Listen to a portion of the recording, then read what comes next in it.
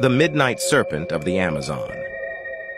Deep within the heart of the Amazon rainforest, a peculiar and mystical creature known as the Midnight Serpent had baffled indigenous tribes and explorers for generations. Dr. Carlos Mendez, a herpetologist with a passion for reptiles, dedicated his life to uncovering the secrets of this elusive entity. The legend of the Midnight Serpent was shrouded in myth and mystery, Natives spoke of a giant snake, its scales as dark as the night, that emerged only during the darkest hours.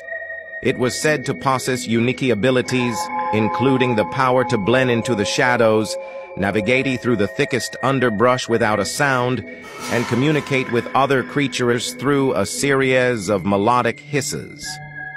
Dr. Mendez set up his research base in the heart of the Amazon, where he studied local folklore, interviewed tribal elders, and conducted fieldwork, seeking to capture a glimpse of the serpent.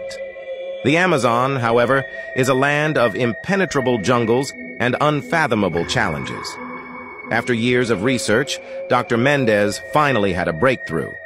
He discovered an unusual snake, unlike any species documented in scientific literature.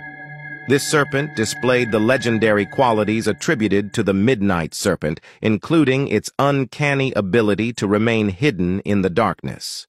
Through extensive field observations and genetic analysis, Dr. Mendez confirmed that the Midnight Serpent was indeed a unique and unknown species, with adaptations that allowed it to thrive in the Amazon's nocturnal world.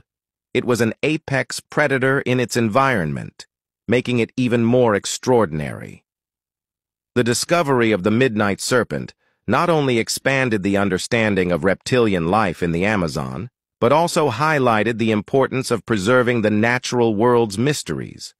Dr. Mendez's work reminded the world that even in our age of science and exploration, hidden creatures of legend and myth could still be found in the most remote and untouched corners of our planet.